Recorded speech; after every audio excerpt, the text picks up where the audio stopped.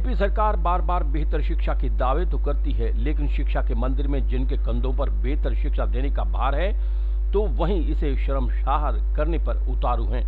तो क्या किया जा सकता है? ऐसा नज़ारा सोनीपत के गाँव नानोर के सरकारी स्कूल में देखने को सामने आया, जहाँ पर स्कूल के वाइस प्रिंसिपल ने एक महिला टीचर के साथ मारपीट कर दी, जिसके बाद महिला टीचर के हाथ में फ्रैक्चर आया है।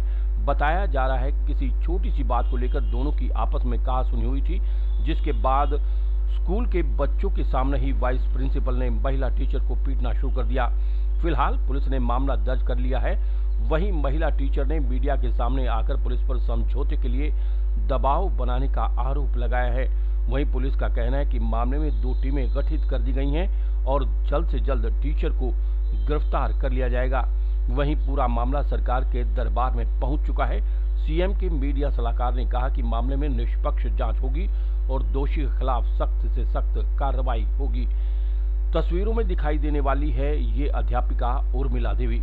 तस्वीरों में आप देख सकते हैं कि उर्मिला का एक हाथ पर प्लास्टर लगा हुआ है। इसके हाथ में फ्रैक्चर आया हुआ है। ये तस्वीरें बताने के लिए काफ़ी हैं कि इस महिला टीचर के साथ स्कूल के वाइस प्रिंसिपल ने किस हद तक मारपीट की है। आपको बता दें कि सोनीपत के गाँव नानोर के राजकीय वरिष्ठ माध्यमिक विद्यालय में उर्मिला देवी इंग्लिश की टीचर हैं।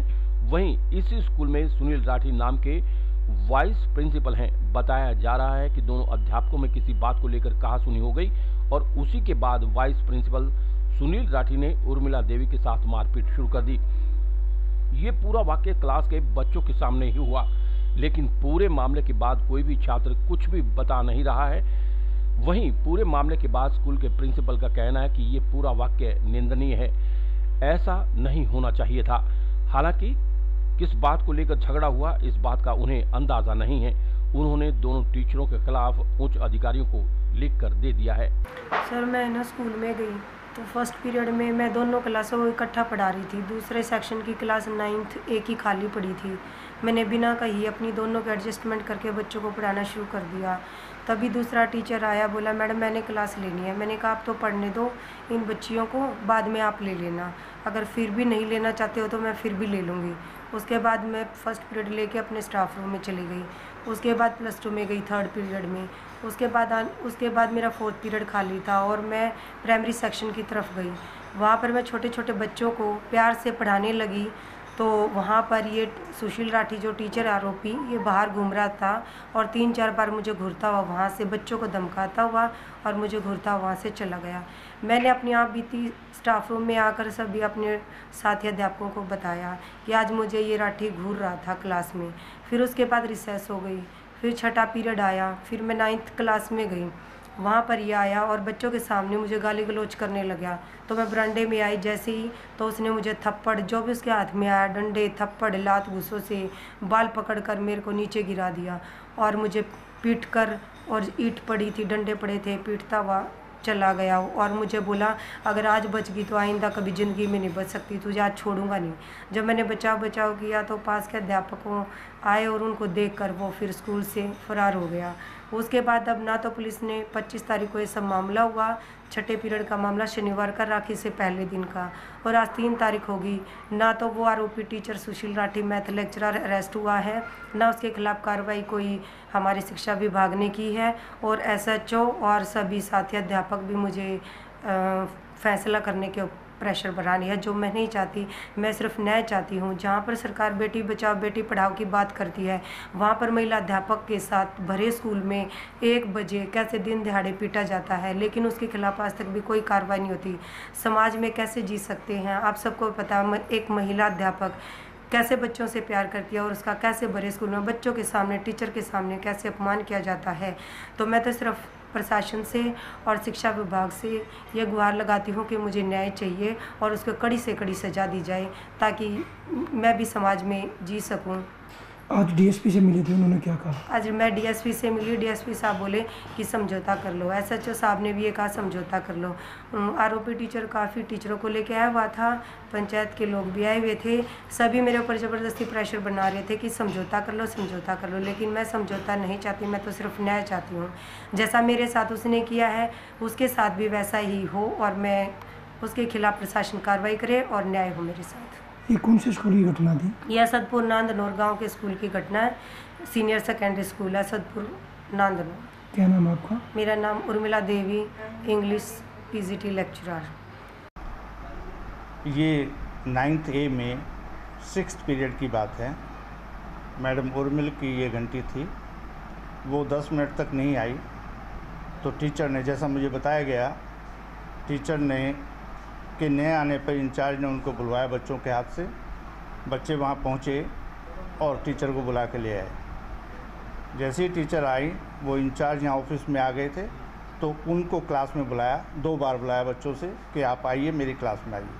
और फिर वहाँ उनकी कहा सुनी हुई। उसके बाद में वो बरांडे में आ गए और बरांडे में उनकी छीना जपटी हुई। छीना जपटी मीन्स हाथापाई हुई। इतना ही हाँ। कहाँ देखते हो कि एक पुरुष टीचर महिला टीचर को पीटता है क्या शोभा है? बिल्कुल अभद्र व्यवहार था। बिल्कुल अभद्र व्यवहार था। बच्चों के ऊपर विपरीत असर पड़ता है।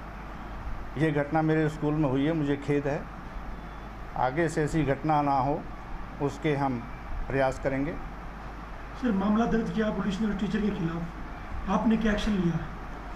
मैंने डीओ साहब को लिख के भेजा है कि दोनों ही टीचर इसमें इन्वॉल्व हैं। दोनों के खिलाफ अनुशासनात्मक कार्रवाई की जाए।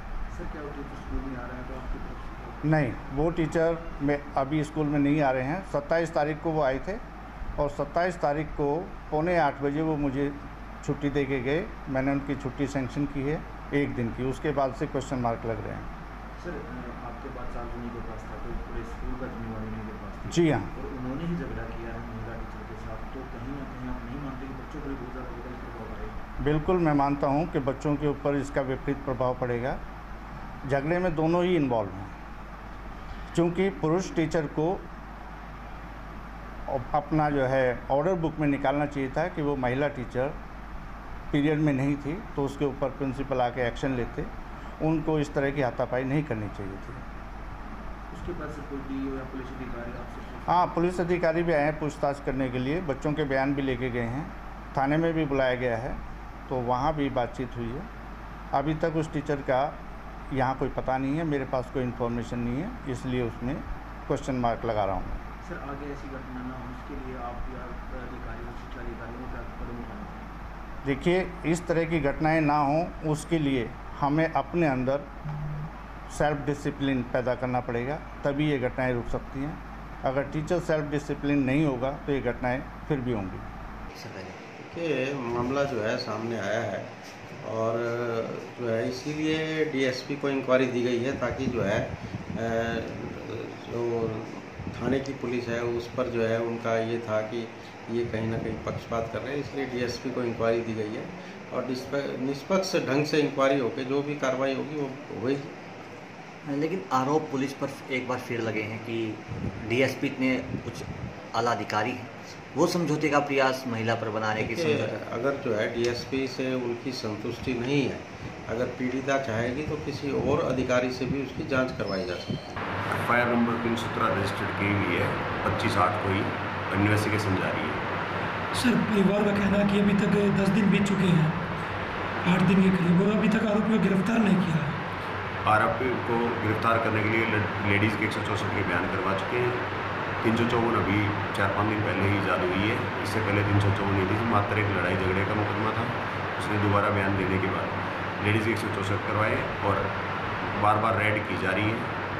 घर में टीचर को पकड़ने के लिए कितनी टीमों का गठन किया दो तीन टीम लगाई हुई है और बार बार रात को भी और दिन में भी रेड की जा रही है। टीचर मौके पर नहीं मिला फिर भी अभी जारी है हमारी कब टीम। तक गिरफ़्तार कर लिया जाएगा? जल्द से जल्द गिरफ़्तार कर दिया जाए